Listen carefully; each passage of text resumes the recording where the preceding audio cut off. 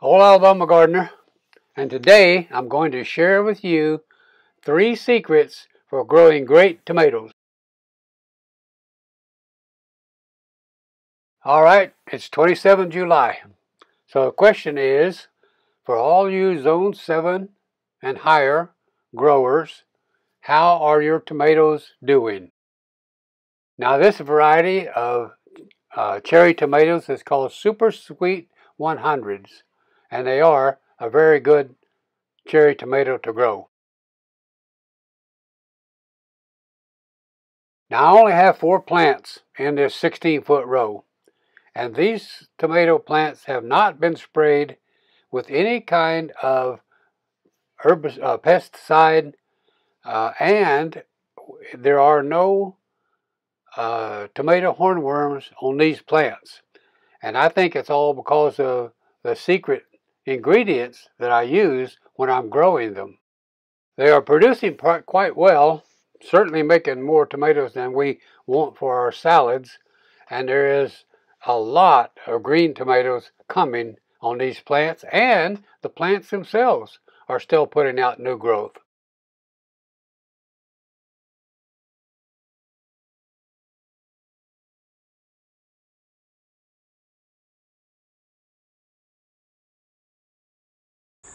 Because I'm going to tell you in a minute about the three secrets that I used on growing these tomatoes. And I'm going to show you some of it also. Now I always put a little bit of triple 13 fertilizer, Epsom salt, and eggshell powder in the planting hole. But that is not the secrets that I'm talking about in this video.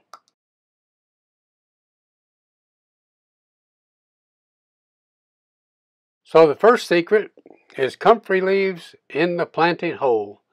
And I'm going to put three or four leaves in this hole where I'm going to set this tomato.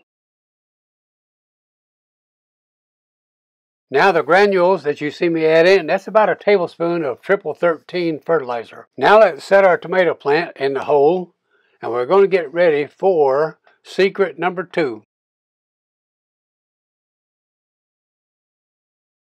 Now I'm adding the eggshell powder mixed with a little bit of vinegar and water.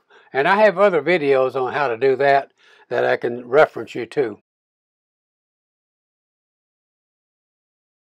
Now I'm going to add about a tablespoon of Epsom salts. Kind of just sprinkle it around over the ground. So secret number two is rabbit poop soup. Now I'm calling this soup because it's much thicker than say com compost or manure tea.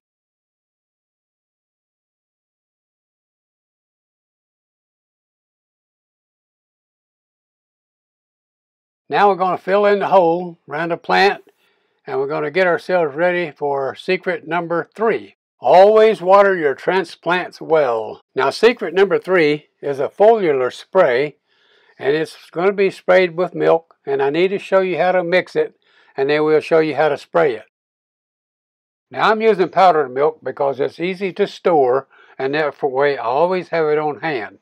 But you can use uh, regular milk, skim milk, 2%, 4%, whole milk, doesn't matter. If you're using store-bought bottled milk, it would be one cup of milk to four cups of water.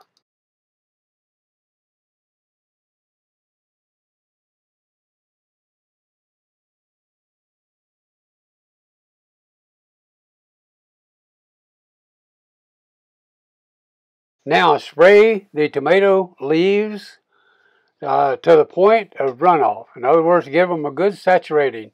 And be sure to spray on the underside of the leaves and spray the ground down around the bottom of the plant because that's where the mold and fungus and the bacterial wilt actually comes from. Okay, you get the idea. Spray your tomato plants. And now it's important that you start early, uh, probably within a week or so after you have set the tomato plants out. Don't wait too late.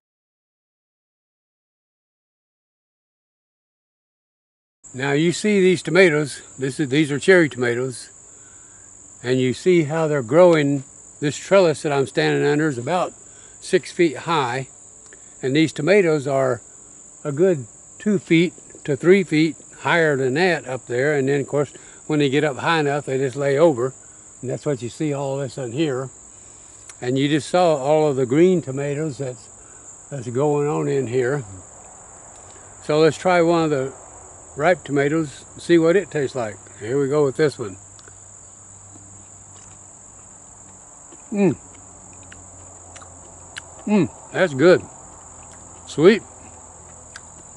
Got that little bit of a tart tomato taste. Mmm. Let me see if I can find another one.